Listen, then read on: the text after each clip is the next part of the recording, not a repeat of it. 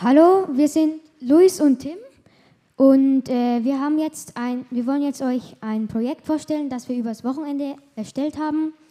Es heißt Grüner Fuß und es ist ein klimafreundliches Videospiel.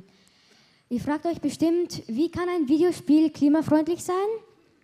Naja, hier seht ihr, die Spielfigur ist an einer Kreuzung und muss sich entscheiden, klimafreundlich oder nicht klimafreundlich und ja, jetzt überreiche ich das Mikrofon an Tim.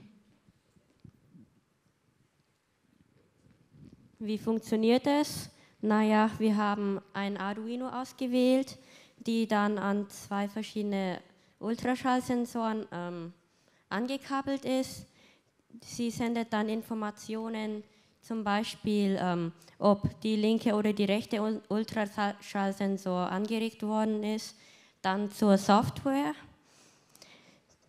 Wir haben Snap ähm, benutzt, weil es Arduino unterstützt und weil es leicht war, ähm, die Kenntnisse von Scratch auch auf Snap zu übertragen.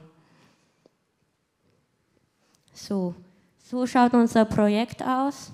Oben links steht ähm, zum Beispiel, bitte warten Sie kurz. Danach, wenn man stirbt, ähm, steht dann der Grund, wieso man gestorben ist. Und unten links steht dann der Score. Okay. Damit ich jetzt etwas sehen kann, muss ich das Arduino wieder rüberschieben. So, ich starte das Spiel nochmal.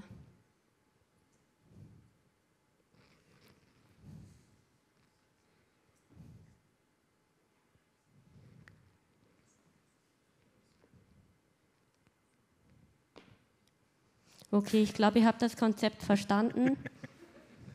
Es gibt Kreuzungen und Kurven und da muss man halt richtig rechts oder links abbiegen.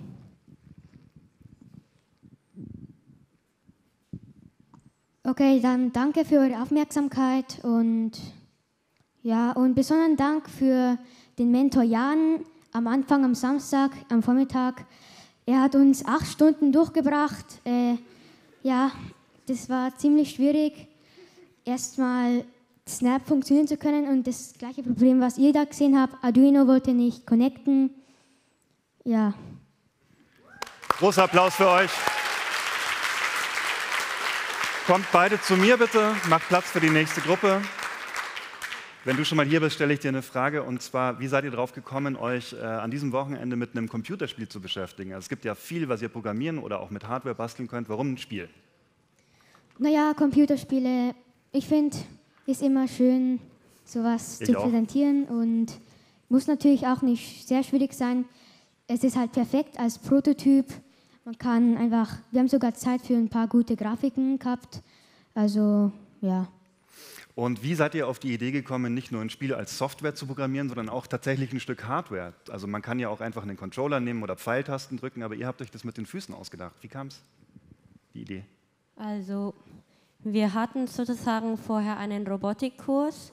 Da haben wir ähm, Arduino kennengelernt und dann ein bisschen mit den Sensoren uns beschäftigt. Und deshalb war es halt perfekt, wenn man auch ein bisschen Arduino-Sachen ins Projekt reinnehmen könnte. Also ihr habt spielerisch umgesetzt, was ihr vorher schon ein bisschen wusstet und jetzt könnt ihr es noch besser als vorher.